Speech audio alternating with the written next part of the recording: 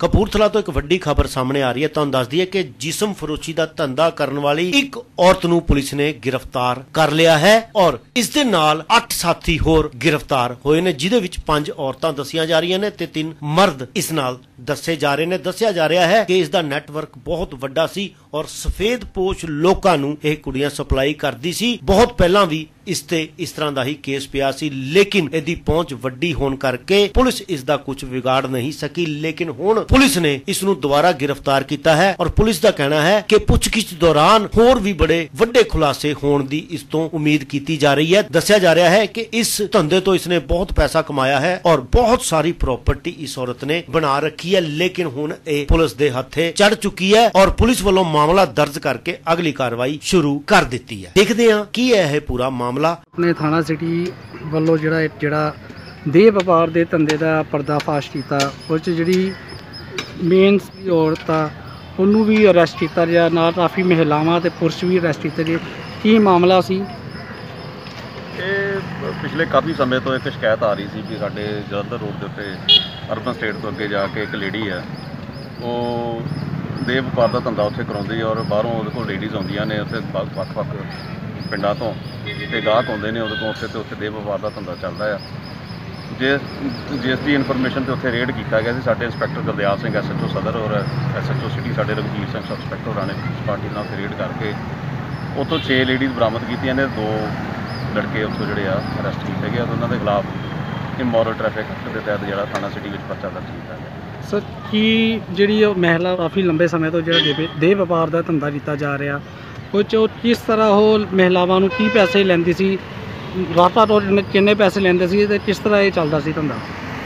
ਇਹ ਅਜੇ ਇਨਵੈਸਟੀਗੇਸ਼ਨ ਚੱਲ ਰਹੀ ਹੈ ਫਰਦਰ ਬਟ ਇਹਦੇ ਵਿੱਚ ਇਹ ਸੀ ਵੀ ਜਿਹੜਾ ਵੀ ਕੋਈ ਗਾਹਕ ਉਹਨਾਂ ਕੋਲ ਆਉਂਦਾ ਸੀ ਉਹਦੇ ਕੋਲ ਜਿਹੜੀ ਹੈ ਲੇਡੀ ਸੀ ਆਪ ਉਹਨਾਂ ਨਾਲ ਸੌਦਾ ਕਰਕੇ ਤੇ ਜਿਹੜੀਆਂ ਲੇਡੀ ਦੇ ਹੁੰਦੀਆਂ ਸੀ, ਉਹਨਾਂ ਨੂੰ ਕੁਝ ਕੁਝ ਪਰਸੈਂਟੇਜ ਉਹਨਾਂ ਨੂੰ ਦਿੱਤੀ ਜਾਂਦੀ ਸੀ, ਬਾਕੀ ਆਪ ਰੱਖਦੀ ਸੀ ਆਪਣੇ ਕੋਲ। ਔਰ ਆਪਣੀ ਜਗ੍ਹਾ ਪ੍ਰੋਵਾਈਡ ਕਰਦੀ ਸੀ। ਜਾਂ ਇਹਨਾਂ ਲੇਡੀਜ਼ ਨੂੰ ਬੰਦਿਆਂ, ਗਾਹਕਾਂ ਦੇ ਨਾਲ ਕਾਰਾਂ ਦੇ ਵਿੱਚ ਵੀ ਭੇਜਦੀ ਸੀ। ਕਿਸ ਤਰ੍ਹਾਂ ਨਾਈਟ ਨਾਈਟ ਦਾ ਕੀ ਰੇਟ ਇਹਨਾਂ ਦਾ ਚੱਲਦਾ ਸੀ?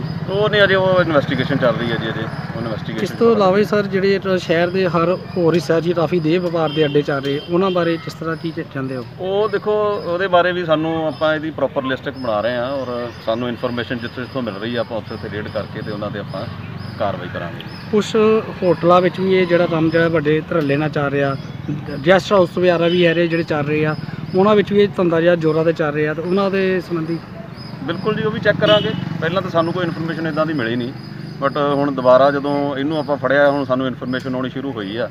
ਤੇ ਉਹਦੇ ਵਿੱਚ ਵੀ ਆਪਾਂ ਵੱਖ-ਵੱਖ ਹੋਟਲਾਂ ਦੇ ਵਿੱਚ ਜਿੱਥੇ ਵੀ ਕੋਈ ਇਦਾਂ ਦੀ ਕਾਰਵਾਈ ਚੱਲਦੀ ਆ ਉੱਥੇ ਰੇਡ ਕਰਕੇ ਉਹਨਾਂ ਦੀ ਅਰੈਸਟ ਪਾਵਾਂਗੇ ਜੀ ਆਪਾਂ ਕਾਰਵਾਈ ਕਰਾਂਗੇ। ਕਪੂਰਥਲਾ ਤੋਂ ਨਰੇਸ਼ ਖੋਸਲਾ ਦੀ report.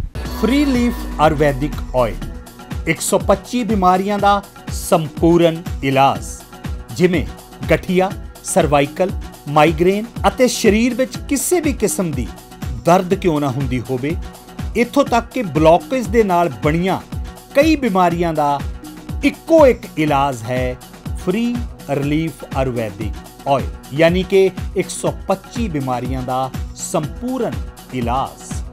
ਫ੍ਰੀ ਰਿਲੀਫ ਵਿਜ਼ੀਲੈਕਸ weight ਲੂਜ਼ ਮੋਟਾਪੇ ਤੋਂ ਪਰੇਸ਼ਾਨ ਹੋਣ ਦੀ ਜ਼ਰੂਰਤ ਨਹੀਂ।